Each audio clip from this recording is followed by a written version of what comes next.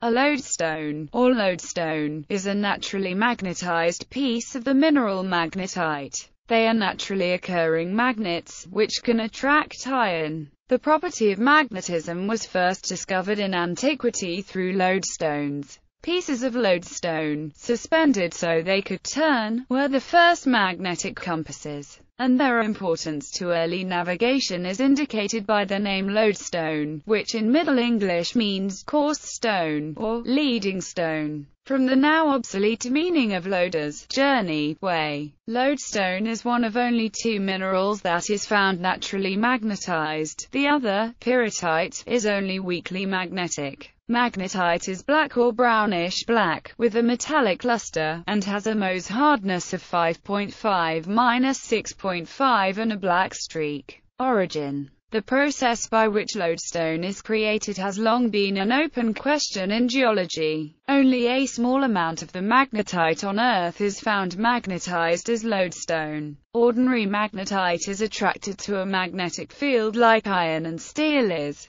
but does not tend to become magnetized itself. It has too low a magnetic coercivity to stay magnetized for long. Microscopic examination of lodestones has found them to be made of magnetite with inclusions of maghemite, often with impurity metal ions titanium, aluminum, and manganese. This inhomogeneous crystalline structure gives this variety of magnetite sufficient coercivity to remain magnetized and thus be a permanent magnet. The other question is how lodestones get magnetized. The Earth's magnetic field at 0.5 Gauss is too weak to magnetize a lodestone by itself. The leading theory is that lodestones are magnetized by the strong magnetic field surrounding lightning bolts. This is supported by the observation that they are mostly found near the surface of the Earth, rather than buried at great depth. History One of the first references to lodestone's magnetic properties was made by 6th century BCE Greek philosopher Thales of Miletus, whom the ancient Greeks credited with discovering lodestone's attraction to iron and other lodestones.